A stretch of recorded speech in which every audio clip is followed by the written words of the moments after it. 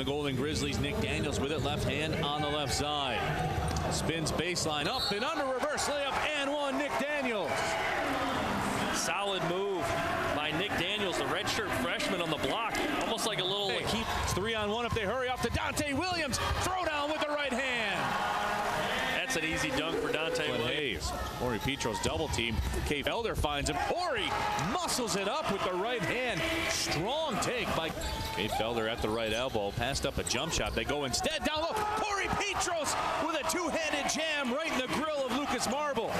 And Petros with the high ball screen. Felder drops it off. Jalen Hayes will slice to the basket and lay it in off the square. Good finish there by Okay, Felder down along the baseline, and Jalen Hayes slices through and lays it in again.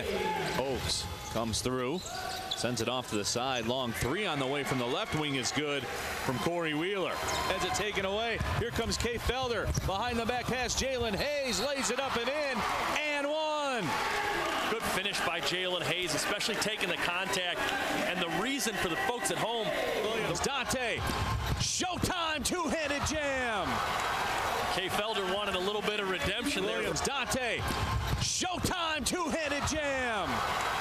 Kay Felder wanted a little bit of redemption there. Weaver, Weaver sends it up. Brascone drives and lays it in with the left hand. Good to see him get on the board. We've only got a Fans here at the arena have a vested interest in these final couple possessions. Alujabi turns, hits the half hook.